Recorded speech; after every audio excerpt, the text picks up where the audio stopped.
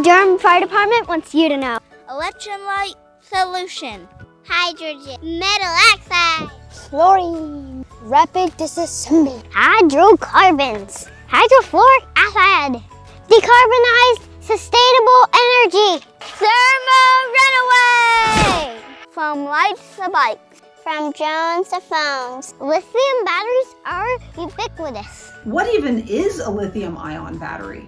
You wouldn't understand the science, so let's just keep it simple. There are two kinds of lithium batteries. Lithium and lithium ion. Lithium batteries cannot be recharged. They're used in products where extended life is necessary, such as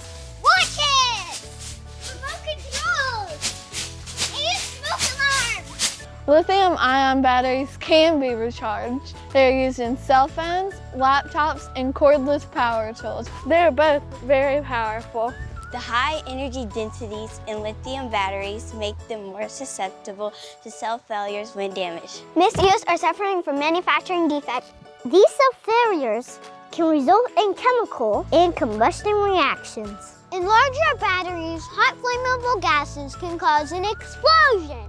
How can you help prevent these fires? Rule number one, lithium batteries should never go in your trash at home. Rule number two, Dead lithium batteries can still be a fire hazard. Remove lithium batteries from their device. place tape over batteries terminals. Before recycling or donating. Rule number three, Replace batteries if they have gotten wet or damaged. rule number four, keep lithium batteries in a cool, dry place.